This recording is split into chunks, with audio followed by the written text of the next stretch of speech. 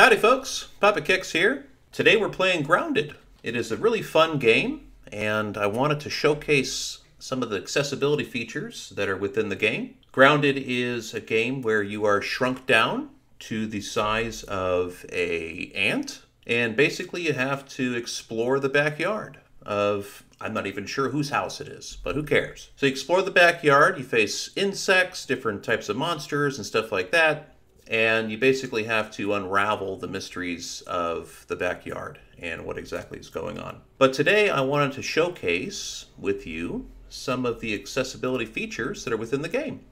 So, without further ado, let's go ahead and hop in. So, today I'm joined by my daughter Harper. Say hi, Harper. Hi. Always a delight. We love playing this game, play it all the time. It's a wonderful game. Yeah, it's scary. It is scary. It is definitely scary. The fact that you are the size of an ant and that the spiders and the ladybugs, I know they don't sound terrifying, but they seriously are. Roly polies are in here, uh, larvae, all sorts of different stuff. So it's a very it's a very scary game. But what's so cool about it is that it's got so many different accessibility features in it. So for instance, uh, right now I'm on the home screen and you've got the options for single player, you can play by yourself, you've got multiplayer, which is what we're going to be playing tonight. Then you've got options. And under options, there is an accessibility tab that you can go to that contains a whole slew of different options that, that are available. So for instance, we have arachnophobia safe mode. So I'm going to show the spider preview real quick. So that's what the spiders look like. That's an orb weaver spider. So if I turn on the arachnophobia safe mode and I keep going, it starts to lose its legs, then it starts to lose its fangs, and then eventually it becomes something that doesn't even resemble a spider whatsoever, right? Just looks like a big old marshmallow. So pretty cool thing uh, if you have arachnophobia to be able to eliminate that factor of the game. Uh, secondly, you've got a colorblind mode. Okay, so the colorblind mode has different options uh, based upon uh, deuteranopia, protanopia, and tritanopia. So you've got your red-green uh, color blindness, and you've also got your uh, yellow-blue color blindness covered there. Highlight objects, none, items only, not base buildings, and all. Uh, basically what this allows you to do is change which objects will be highlighted when you look at them. Wide interaction, uh, is the next option here. You can turn this on or off. Basically, if you have dexterity issues, this is really important because you can interact with nearby objects even when not looking directly at them. So if you have dexterity issues, it's very, very important for you to be able to utilize that particular uh, feature. Uh, next is large text, basically increases the text of the UI. Next is read to me, uh, which is really, really neat. Uh, the game will narrate aloud the text content of on-screen elements. It also allows you to choose different speech synthesizers, such as Microsoft Desktop David and Microsoft Desktop Zira, for instance. So we're going to stick with Microsoft Desktop David for right now. You can increase or decrease the speed of the read to me. Next, there's an option for subtitles. So right now I've got dialogue only on, but I can turn it on for all. Subtitle size and background. So in background, when this is enabled, subtitles will have a dark background in the HUD. And the last option is for chat. So you've got options for chat text to speech, you've got chat speech to text, and then you've got uh, the background here. So when enabled, the background will have a dark background uh, for you so that you can be able to, to perceive the chat better. So enough of that. Quit dilly-dallying here. Harper, you ready? Yeah. All right. Get out of there. Gonna go ahead and start a new game here.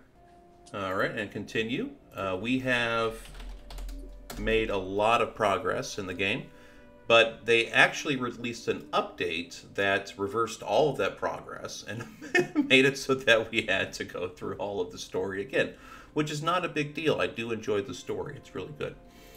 Let's go ahead and hop in here. All right, and I'm always Pete. All right, so now we have landed.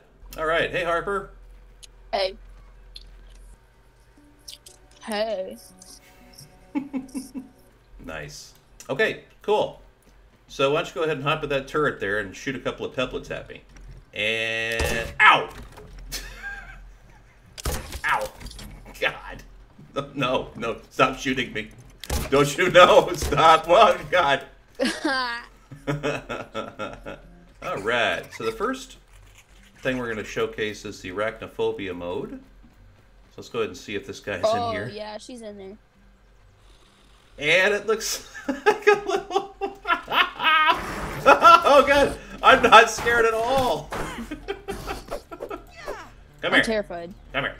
Come here. Oh, stuck. Oh shit. you know what he looks like? He looks like tree sap. Well, she's dead. And she's done. All right. So now that we're on the accessibility menu again, I am going to showcase the Deuteranopia. So basically what it's doing right now is that if you have any type of red-green uh, uh, color blindness, it is changing the UI elements, shifting around the colors to make a little bit more high contrast and not have too many reds or greens in there. Go ahead and apply that, and I'm getting attacked by a little spiderling.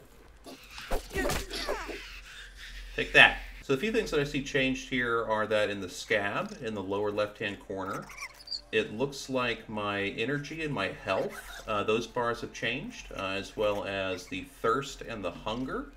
Uh, so it, it basically just changes around all the different uh, colors uh, to make them a little bit more perceivable for people with color blindness. Take that! oh god, a wolf spider's in here.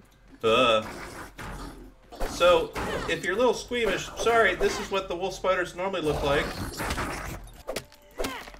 Um, Uh, I'm just. Harper, I, I can't help you. Oh.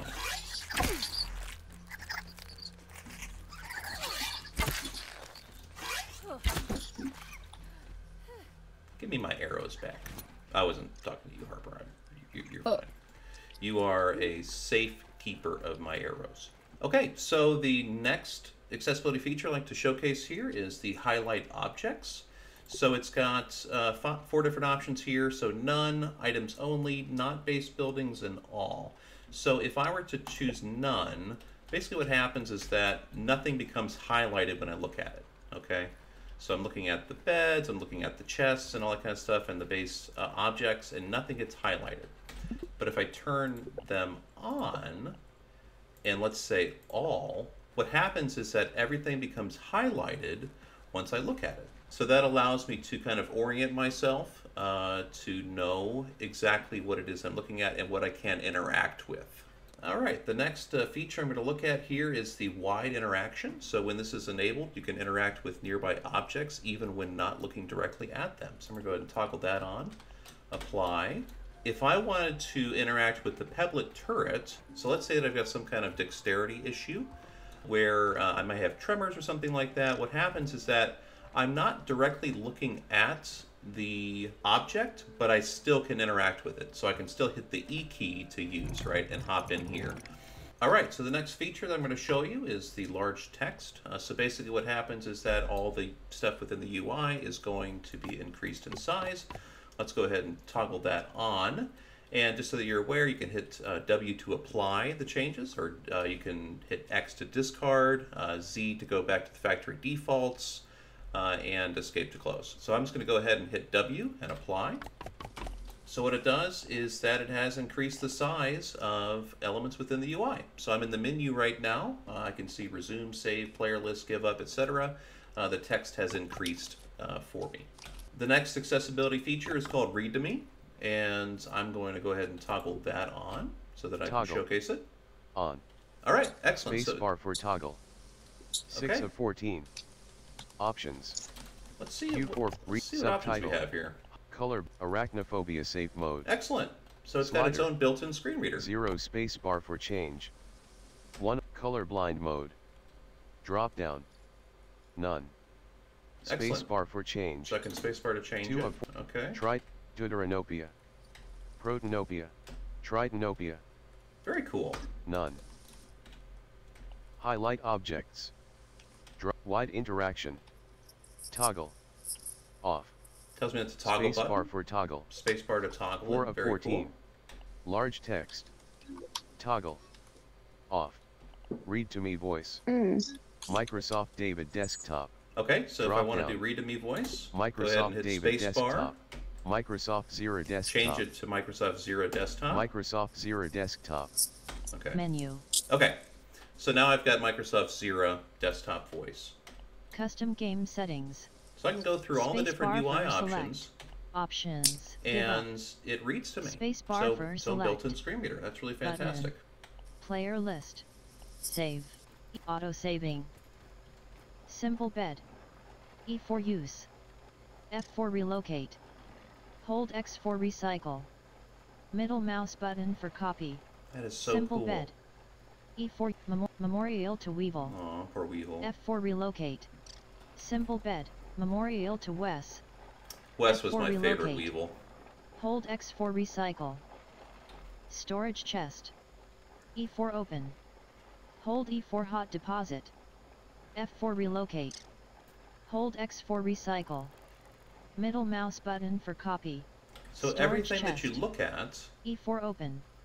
Hold provides E you with the description. Grass workbench. Auto saving. All right. It even announces uh, some of the alerts that show up in the uh, left-hand portion of the screen, which is really cool. So if I look at objects, what's really neat is that it just patch. tells me exactly what I can do with those. So I think that's really, relocate. really cool. All right, and as I mentioned before, uh, you can adjust the read-to-me speed uh, slower or faster if you'd like.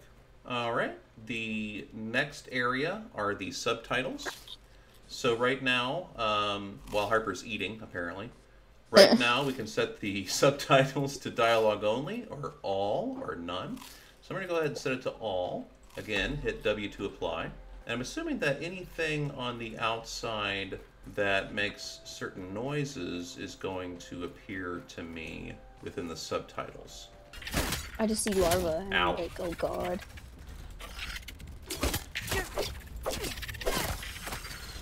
Take that. And take that. Ew, gooey. So back when the game would just come out, there was what we like to call the larva gang that would mm-hmm. show up and would completely destroy our base for some Yeah. reason. And it was a glitch that they had finally repaired in a subsequent release. I guess we weren't the only people who were experiencing it. No. So this is the big oak tree. So through the story, this is like a little platform right here, uh, which I believe is what's shrunk us down to the size that we are now. And our whole job is to fix uh, the contraption so that it works again so that we can become big again. Can't wait to become big again. I know. So you can also change the subtitle text size. So uh, if you want it smaller or medium or large, you can change the uh, subtitle text size. And you can also change the uh, background to make it a little bit darker, right? So to make it a little bit more. Uh, so if I were to do H4 again, what happens is that I've got a dark background around my character. So it's pretty cool. All right, and lastly, we've got the chat option. So there's a chat text to speech, a chat speech to text, and I can also do the background as well for that. So I'm going to go ahead and toggle on the background and toggle on the chat text to speech feature. Go ahead and apply that. All right, so apparently uh, after some testing, it appears that you have to have the read to me function on. So I'm going to go ahead and toggle that on. All right, so Harper, why don't you go ahead and say something? Harper May 69. You are a monkey man.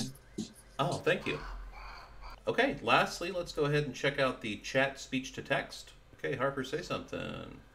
Hi. Okay, awesome. So what, what's happening is that to the right of the screen, uh, it is displaying uh, in chat uh, what is she is saying audibly. So that's pretty cool. All right, well, I think that'll do it for today. So I cannot say too many good things about Grounded. Uh, I definitely do recommend that you check out the game for yourself. It's got a lot of cool features. Uh, it's got great exploration, adventure, all sorts of great stuff. So I definitely do recommend it. And without further ado, Harper, let's go ahead and sign off. Okay. And go. So right now Harper and I are clapping. And then we give a big thumbs up. And then we go woohoo. And there we go. All right, Yeah. cool. Excellent. Well, thank you so much everybody for watching. Definitely do appreciate it. And we'll see you next time. Bye. Bye-bye.